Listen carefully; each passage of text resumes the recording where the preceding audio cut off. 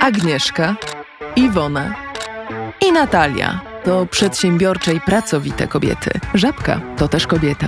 Poznajmy zatem ich siłę. Zdecydowałam się na franczyzę zachęcona przez doświadczoną koleżankę, która sama prowadziła sklep i była bardzo zadowolona ze współpracy. A teraz sama prowadzę żabkę i czuję, jakby była moim drugim dzieckiem. Od dwóch lat zarządzam sklepem. To biznes rodzinny, ponieważ bardzo pomaga mi córka. Teraz nawzajem wspieramy się w domu i w pracy, gdyż od kilku miesięcy ja też prowadzę swój sklep. Z mamą jesteśmy zgodne i jednomyślne. To jest prawdziwa siła kobiet.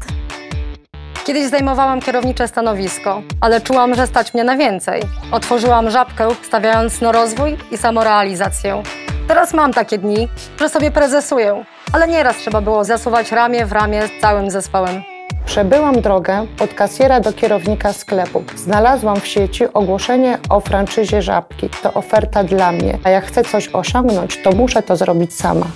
Nasze franczyzobiorczynie są dumne ze swoich osiągnięć, a sieć ogromnie je wspiera na każdym etapie.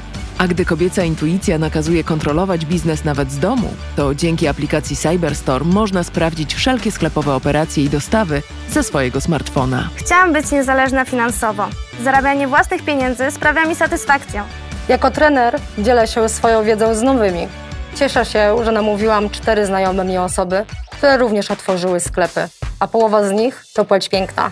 Będąc osobą ambitną i zaangażowaną, można rozwijać się bez ograniczeń, niezależnie od wieku.